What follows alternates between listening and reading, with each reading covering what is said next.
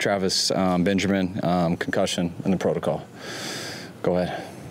Um, Going with the starting, the quarterbacks obviously moving them in, you know, almost every two plays or so.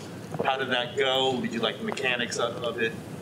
Uh, I did. I mean, I like the results of it. I mean, the two drives, a um, couple things I'd like us to do better at. It wasn't perfect, but um, for the most part, I was happy with it. What were you trying to accomplish doing that here in the final preseason game? I just wanted them to get live action of it. Mean, we've done it in practice a couple times, and this was the last time before we're going to get in the regular season. So it's the last time you can have the opportunity to do it. So I kind of wanted to do it this game. You want to kind of, I mean, obviously everything you do today is pointing toward two weeks from now and winning football games in the future. Is that something that you, you want to put in the back of teams' minds that this is an option, this is something you guys can do? Um, yeah, I mean, it is an option. So whether it's in their mind or not, um, I mean, that's that's up to them. But uh, we got two guys who can play, and um, well, we've been doing it in practice a little bit. Wanted to do it out there in the game, and I think it's always going to be an option. Kyle, what did you think about how each each quarterback played? Uh, I thought they did a good job. I mean, by no means was it perfect, but I thought just the function of it and going in and out and not knowing when it's going to be, um, you know, it wasn't a planned rotation or anything. I was trying to make it situational, so I was just doing it mainly off impulse and. Um, you know, whenever the down and distance, it felt like what we wanted to call. So um, those guys seemed like they handled it good. I'll meet with them tomorrow and watch all with them, which I'm looking forward to. But um, today I thought it was good. Part of it is just how they react to being in and out, in and out. Uh, yeah, I think it's them. I think it's the team. I think it's me trying to do it, just not knowing exactly when. I mean, I, they both know it's coming, but you just don't know when it's coming. So I wanted it to be pretty random, and um, at least doing it today felt pretty comfortable. Think when you saw Jimmy Garoppolo uh, going for the end zone head first? Um, I mean, that, that's Jimmy. You guys have seen him lower his head and run a number of times since he's been here. So Jimmy has kind of got a linebacker mentality. Um, I'm all for him throwing it to Hoken in the flat too. Um, but I kind of like that about Jimmy too. I mean, I don't ever want him to risk himself and get hurt, but um, I think that's why guys fight for him. How did Trey make it through? It seemed like he went and hit his hand on a helmet or something. Yeah, I think he had a finger jam. I mean, it wasn't too bad from what I was told. Um, I'm sure I'll find out more about it later. What did you think of the way Trey created space for the running backs running out? Um, I mean, I think he only. I mean, I think he only ran it once. Um, so, I mean, just those guys weren't closing at all. So, Or at le- or at least the way that, you know, his presence had defenders crashing in on him to create space. um, yeah, I mean, it's kind of happened with us later when their quarterback ran it too. It's just how guys want to play it, and um, they want you to hand it off. That's, I'm glad he made the right decision. Seems like he made the right decision on all of them.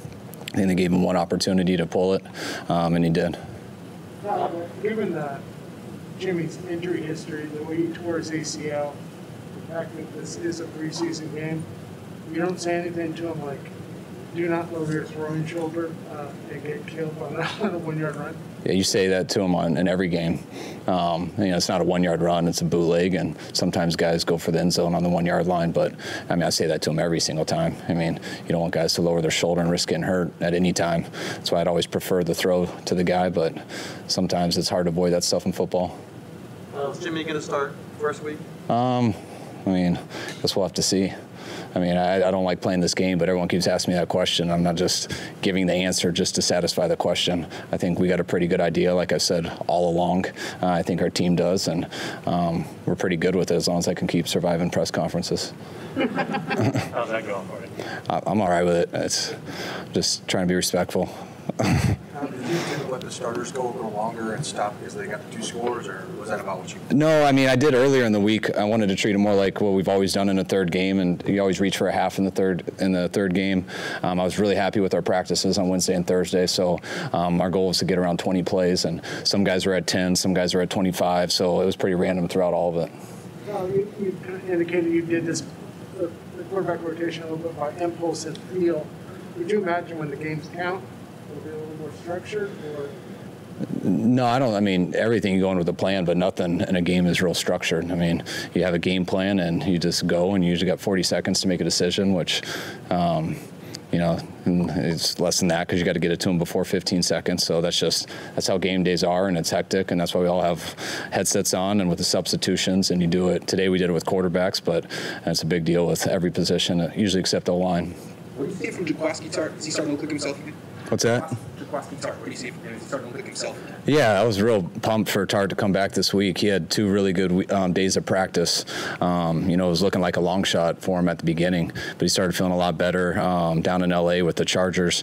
He was telling us how good he was going to look, and um, he went out there on Wednesday and Thursday, and uh, he wasn't lying. He had a great two days of practice.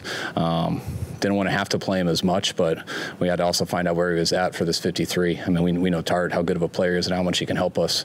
Um, but today was really almost like his third and a half practice if you kind of walk through. So I was just really pumped he was able to go out there, and I think he played about between 25 and 30 plays, um, which was the goal to see if he could get through that. And I'll watch the tape and stuff, but I was just real happy that he got through it because we saw him playing at a high level in practice too.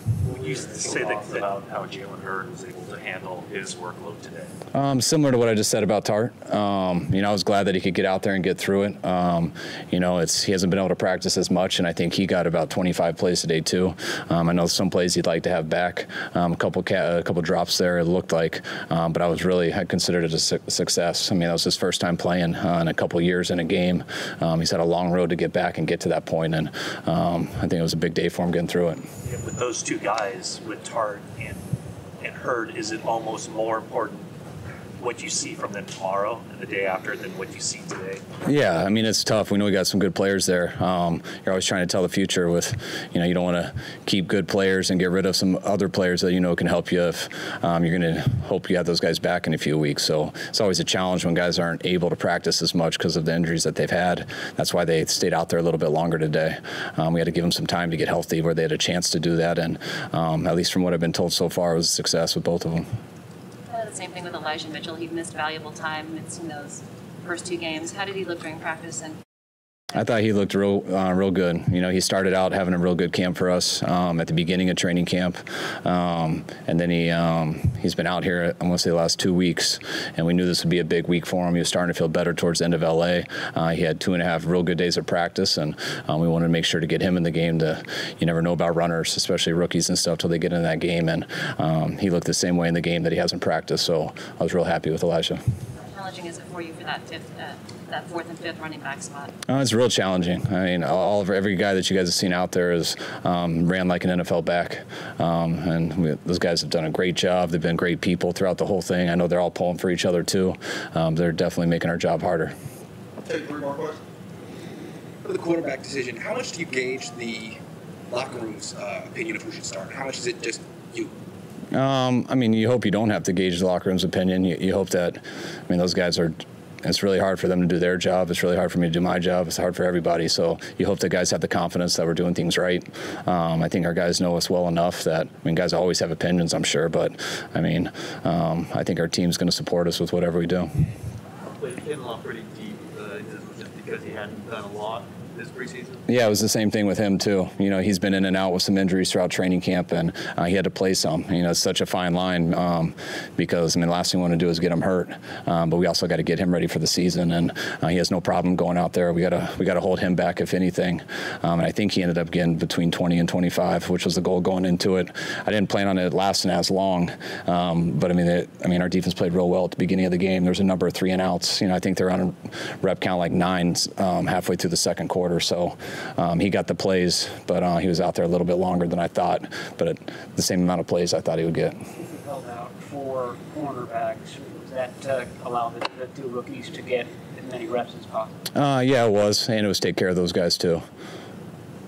Is defensive line going to be one of your toughest decisions on the 53? What's that? defensive line going to be one of the toughest decisions for you? Uh, yeah, probably. I mean, it's it is tough. Um, we'll see how um, many we end up keeping there and how it goes. I mean, you know, if we're allowed to keep a bunch, it can be a little bit easier. But uh, they've had they've you guys have seen them in all, all, three of these games. They've played good from the beginning to the end. Um, and I think our D line's been pretty good here these last three years, and I feel the same this year.